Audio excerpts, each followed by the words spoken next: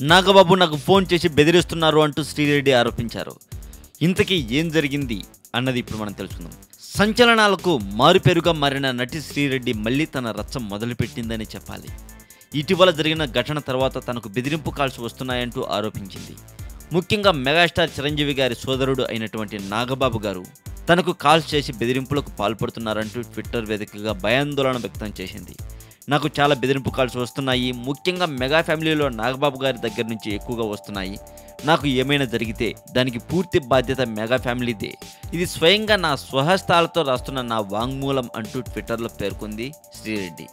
అయితే శ్రీరెడ్డి తిట్టిన ఒక బూత్ కారణంగా పవన్ కళ్యాణ్ గారు ఇప్పుడు మీడియాపై కోపం పెంచుకున్నారు అని చెప్పాలి. తన తల్లిని తిడుతున్నా కూడా మీడియా ఎందుకు అలా రెచ్చగొట్టే విధంగా పదే పదే అదే ఎందుకు చూపించింది అంటూ ప్రశ్నిస్తున్నారు పవన్ కళ్యాణ్ గారు.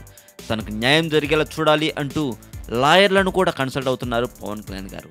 ఇక మీడియా వాళ్ళని ఎవరిని అలౌ చేయకుండా తన ఫ్యాన్స్తో మాత్రమే ఈ విషయాల గురించి డిస్కస్ చేస్తూ లాయర్లతో డిస్కస్ చేస్తున్నారు పవన్ కళ్యాణ్ గారు.